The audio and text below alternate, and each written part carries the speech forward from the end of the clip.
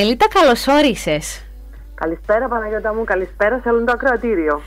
Πώς σε βρίσκουμε; Με βρίσκεται πολύ καλά, Παρασκευή. Παρασκευή επιτέλους. ναι, ναι, ναι, ναι.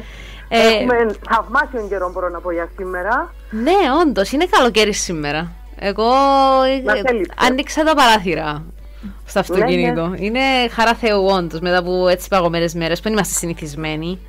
Ακριβώς, ακριβώς. Σήμερα ήταν έτσι καλή συγκυρία και για Παρασκευή και για τη μέρα που θα μιλήσουμε. Και για θα αφορμή την αναφερθούμε. ημέρα, ακριβώς. Η διά μας ελπίδα νομίζω, αν, το, αν το συνδέσουμε.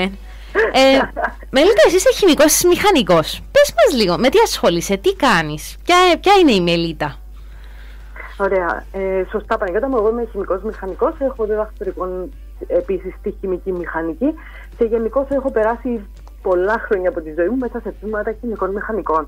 Α, μ, το Σεπτέμβριο του 2020 ήρθα στην Κύπρο μετά από 20 χρόνια απουσίας και ε, ε, είμαι στο δυναμικό του τμήματος χημικών μηχανικών. Διδάσκω κάποια μαθήματα στους προπτυχιακούς φοιτητές.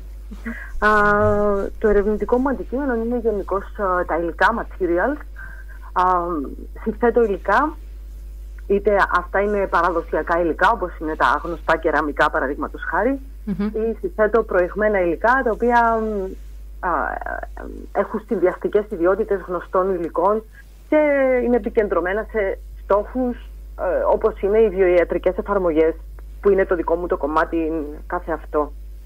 Έχω δουλέψει με πολύ γκάμα υλικών σε πολλές χώρες ε, κυρίως κοιτάζοντας ε, δύο ιατρικές εφαρμογές που μπορούν να έχουν